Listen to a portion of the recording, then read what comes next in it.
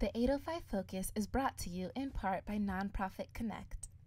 Nonprofit Connect provides superior leadership tools and resources so nonprofit leaders and board members can make valuable decisions to move their organization forward to a sustainable and vibrant future. More information on services online at nonprofitconnect.org.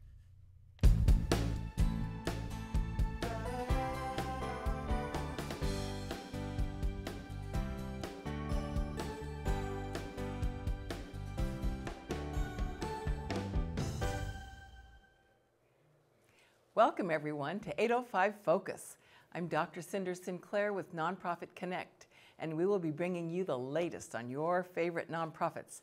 So get ready to be inspired.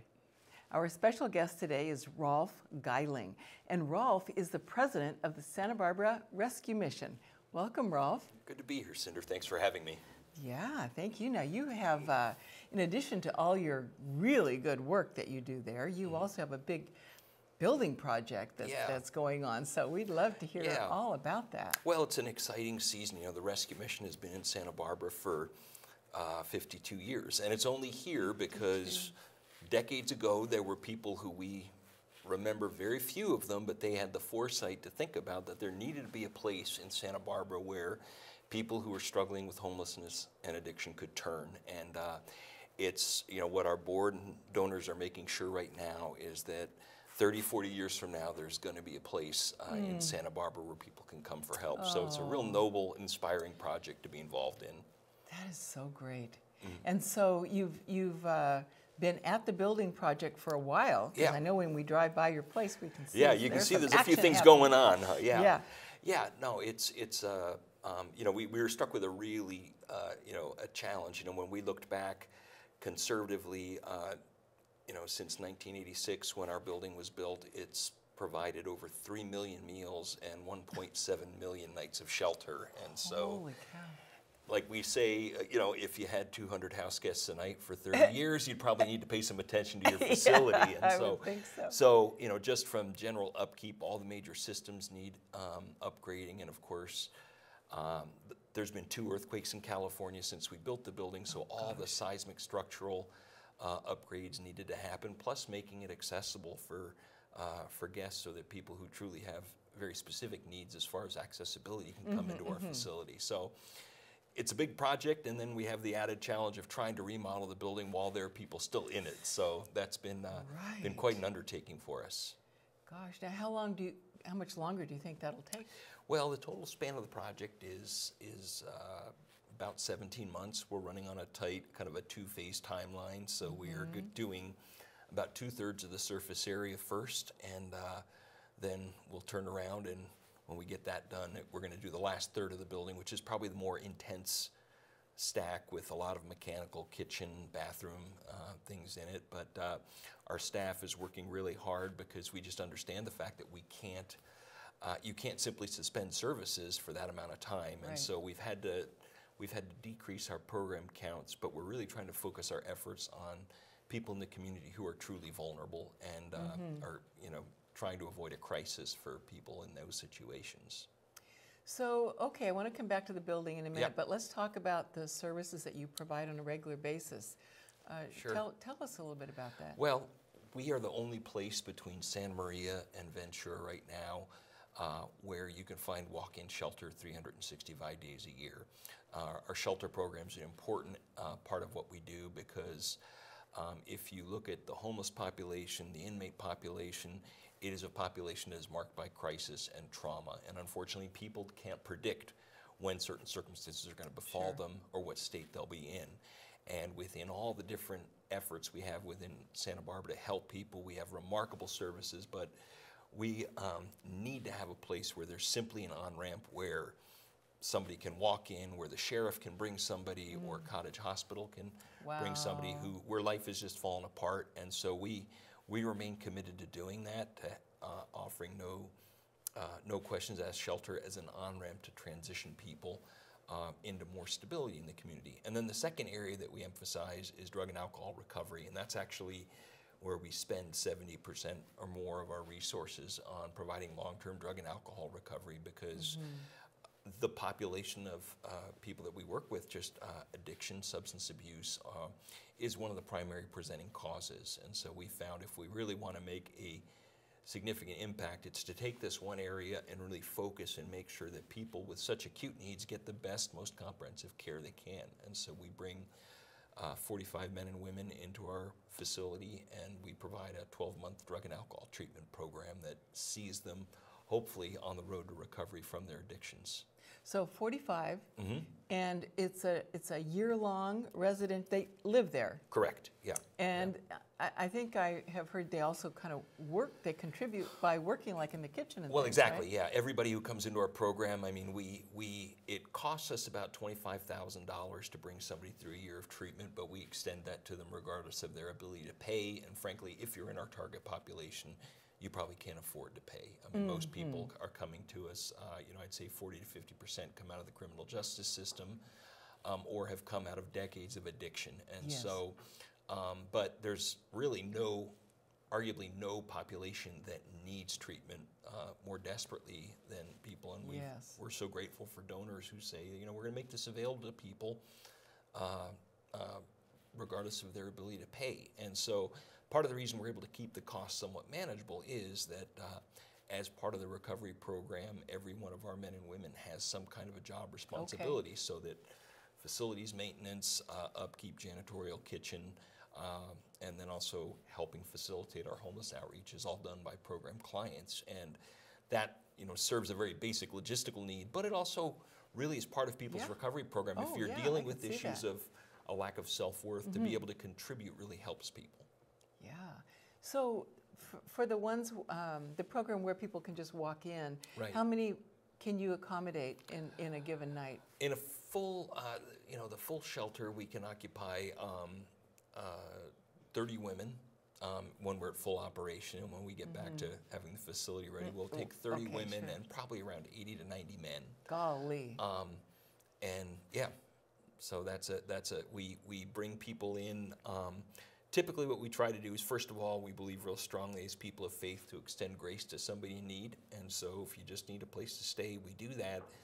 But then, as people, uh, should people need more extensive services, if their stay is more than a few days, that's where we start to uh, work out individualized treatment Oh, plans and good. objectives for them, so that somebody, you know, so that we're not just creating, you know, enabling situation, but we're actually helping somebody take steps toward being reintegrated into our community. Great. And so taking steps to Yeah. reintegrate. So um, do you help people find jobs, put together resumes, uh, find housing? I mean, how? Within the within um, certainly within the with our program clients who are with us for a year, that's a very intensive process where okay, yeah, okay. people get a lot of vocational and educational support. Uh, for clients coming into the shelter program, what we've realized is we really need to be ready to receive a diverse group of uh, just a diverse population. So we try to keep the program somewhat flexible.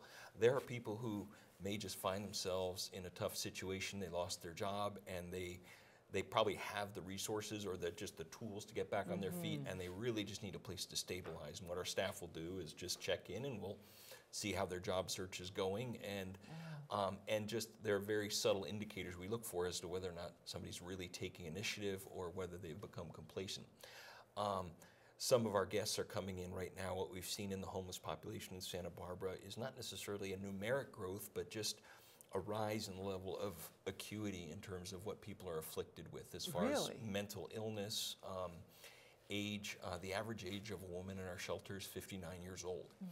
And so we're dealing with a lot of things like chronic health conditions, uh, dementia, mental illness, and, and there it's more incumbent upon us as a community to figure out okay, we're not going to take a woman who's in her 60s and dealing with dementia and somehow talk about vocational rehab, but we have to look at Right. what we have to look at is say, how can we as a community surround this person with the care they need? How Yeah. can we get the agency community uh, mobilized to create a place where this person can receive the care they need? So sometimes the steps are, you know, as simple as an individual being willing to be helped.